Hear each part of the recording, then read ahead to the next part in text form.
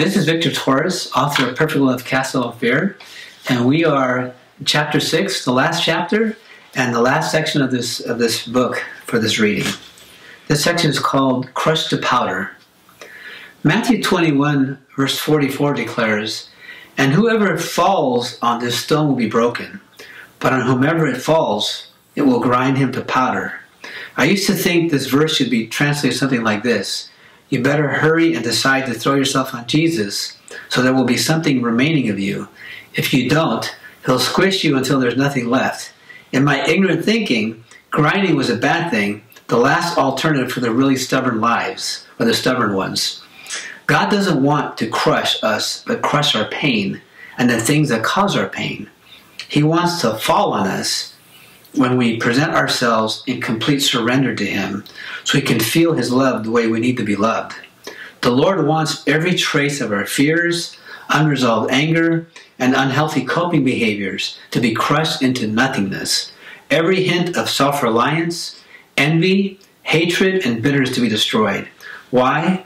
If we surrender completely, we'll be freer to experience His no strings attached, unconditional love for us and more quickly receive healing and deliverance from the pollutants of this world because we won't have any secret sins that prevent the promises of God from fully manifesting. This reminds me of reading about a skilled potter in Bible times who was an expert at taking cracked and broken pottery that others considered worthless. But to this experienced craftsman, they were valuable. He could take two or three old pots and crushed them to a powder so fine that one was completely indistinguishable from the others. Then the potter would mix the powder with oil and water to make fresh clay with which he could fashion something new and without flaw. Author Bryant G. Wood, PhD, writes that as the clay yields itself to the potter, so the Christian must submit to the authority of God. When clay is first brought in from the field, it is unusable. It's hard and full of impurities. As the clay must be refined, so too must the Christian be refined before he can be shaped into a useful vessel by the master potter. Impurities have to be removed and tempering agents added. The Christian has to be softened and kneaded. In short, the Lord is the master potter, and he shapes a believer according to his will.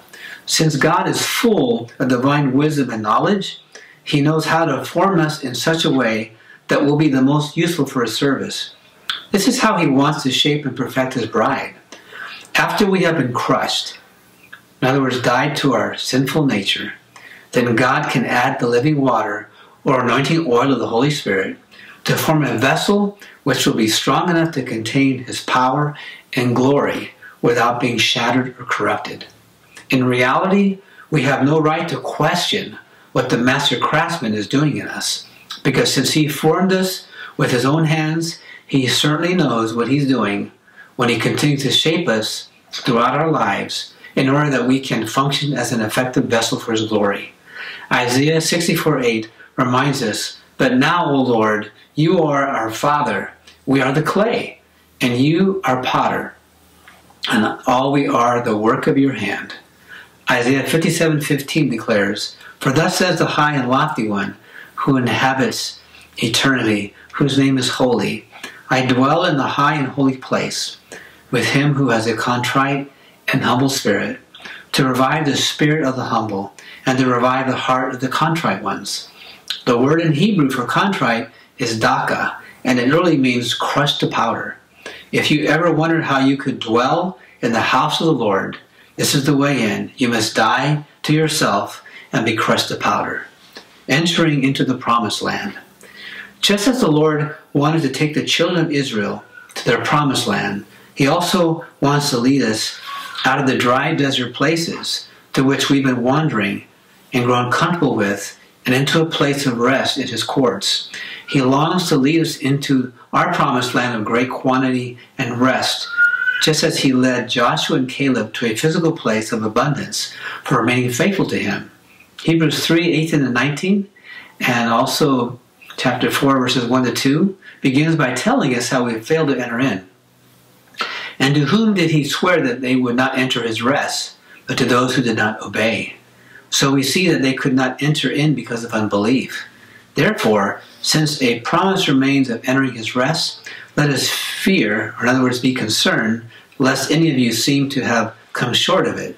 For indeed, the gospel was preached to us as well as to them, but the word which they heard did not profit them, not being mixed with faith in those who heard it.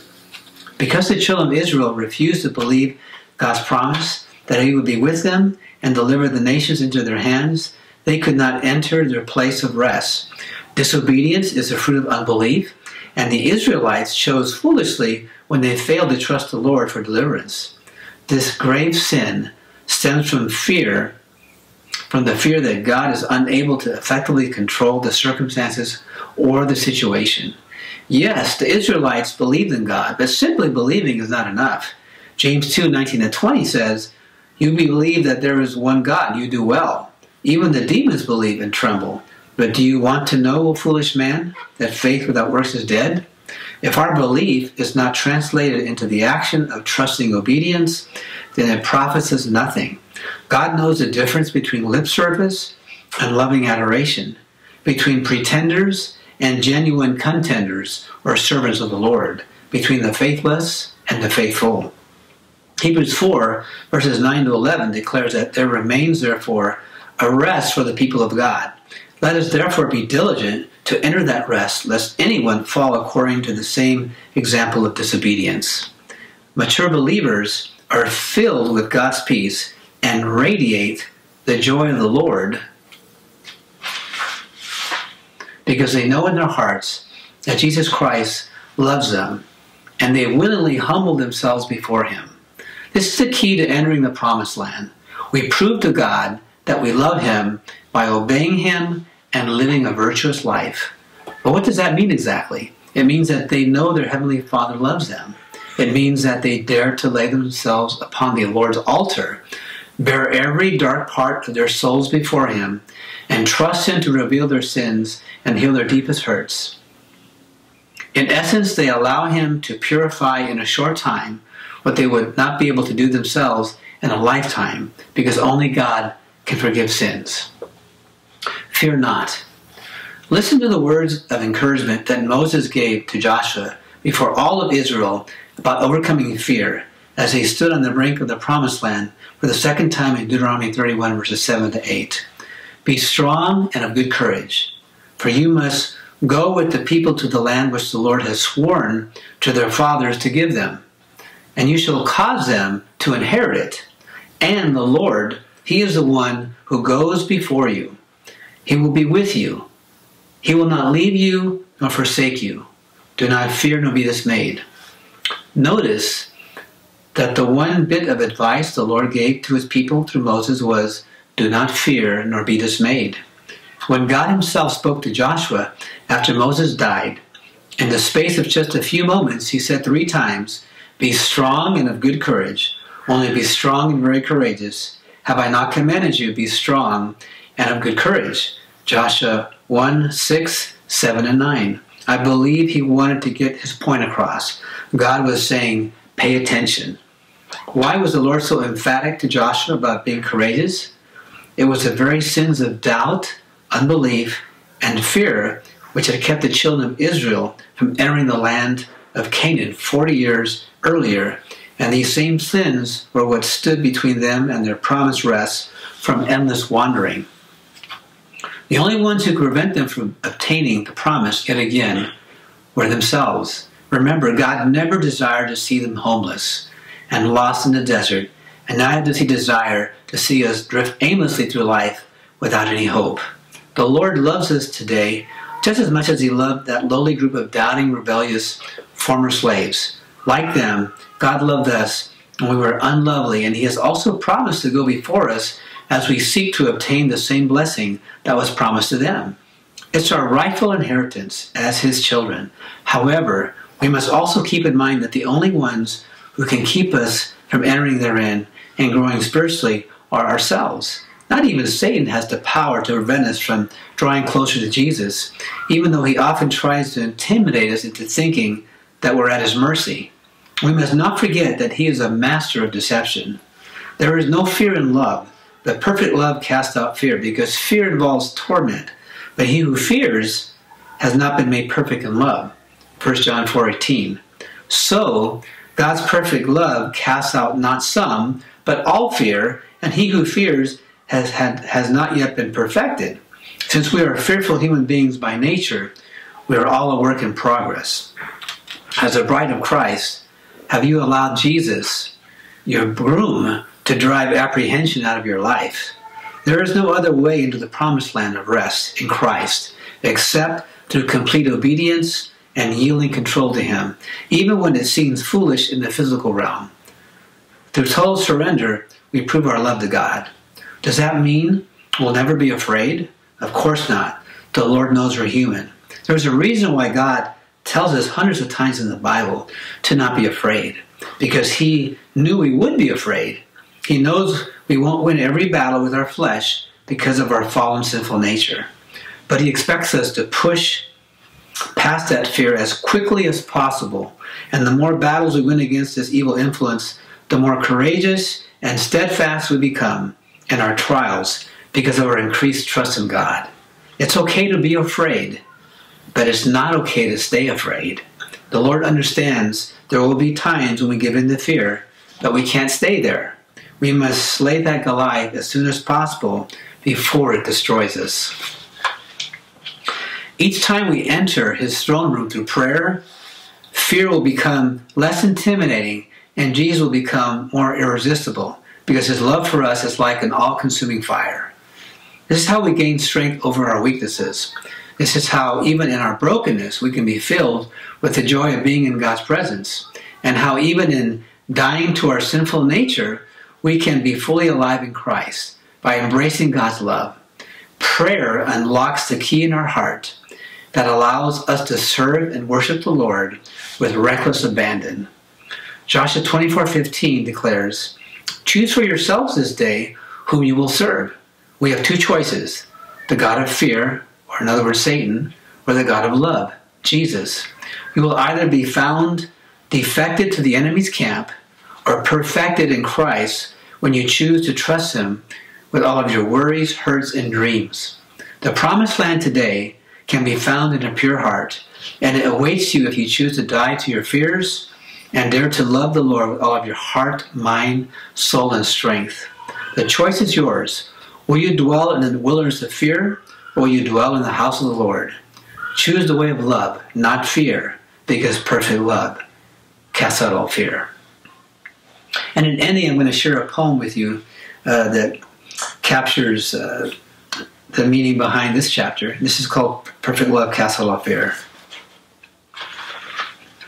Take heed, my friends, and listen to the voice of the Lord, for many have been deceived and fallen astray. The message I now give you must not be ignored. His grace will save you if you choose to obey. Have you lived your life according to the world's ways? Have foreign voices caused you to run and hide? Have they blinded you from the truth and caused you to stray? And is your way of survival really the serpent of pride? The fruit of the garden remains appetizing, but the idols you so carefully erected, blaming, minimizing, and rationalizing, will leave you broken, lonely, and painfully infected. Beware of your enemies, doubt, unbelief, and fear, for they will try to enter your heart and destroy you from within. Cling to faith, hope, and love when adversaries appear and don't be enticed by lies that tempt you to sin. In the same way that Christ showed love and courage when he died, face your hurts head on with the innocence of a child. Fear will flee at once when it sees God's love strings tied to a heart that's loving, kind, and undefiled. Your obedience will part any Red Sea you must cross. Your faith will grow as you walk forward and believe. God is your mast, so don't worry about suffering loss. Just trust the Holy Spirit and you won't be deceived. David slew a mighty giant as he ran toward the Philistine. Caleb and Joshua guaranteed victory when they were commissioned. As they exercised their faith, God appeared on the scene. They held on to their integrity against great opposition. Conversely, Achan and his wife disobeyed the word of the Lord, thinking they could hide their sins so no one would know. But God saw the abominations they tried to hoard, and for their secret sins they died as God's foes. Die to yourself if heaven's your eternal goal. Let the Lord crush you to powder through the work of his hands. Allow him to break you. Give up your stubborn control and dare to gaze into Jesus' eyes and see the promised land. Hold fast in your commitment, lest you be found defected to the enemy's camp who desires to steal away your soul. Love the Lord with all your heart so you can be perfected and drink of the living water that'll make you whole. Listen to the message I bring you from above. When you seek me, you will find me when you draw near. If you love one another, I'll perfect you in my love. And know, my child, that perfect love casts out all fear. Special closing message. In the event that you were able to read all the way through this book and you still don't know Jesus Christ as your Lord and Savior, I would like to invite you to ask Him into your life. As you read this prayer aloud, mean it with all your heart. Heavenly Father, I confess to you that I am a sinner in need of forgiveness for all of my sins. I'm sorry for all the ways that I have disobeyed you. I want to turn from my wicked ways and start a new life with you. I thank you that you sent your Son Jesus to die on the cross in my place as a penalty for all of my sins. I accept his blood sacrifice as atonement for all the sins of my past, present, and future. I accept as truth what Jesus declared in John 14, 6. I am the way, the truth, and the life. No one comes to the Father except through me. Therefore, I will stop striving to get to God my own way. Now I choose to leave my old ways behind, and I choose to walk daily in God's way with the help of the Holy Spirit. Amen. Congratulations. The Bible says that your name is now written in the Lamb's Book of Life, and that because you have chosen to live for the Lord, you are now promised a place in heaven.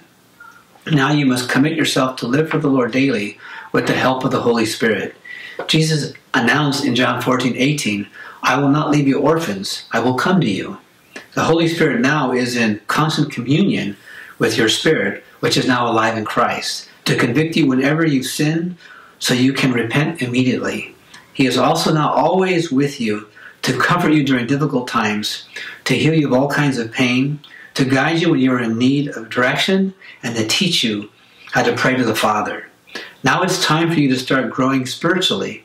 Commit yourself to praying, reading and studying the Bible, and establishing yourself in a sound Christian church where you can learn about water baptism, the baptism of the Holy Spirit, salvation, prophecy, healing, and deliverance. If you are faithful to seek the will of the Lord, then out of your love for Him, the Holy Spirit will help you to live a holy life, and you will experience the spiritual, emotional, physical, and relational healing that you so deeply desire. I pray that God will richly bless you in your new life with Him that has just begun. God bless you, everyone.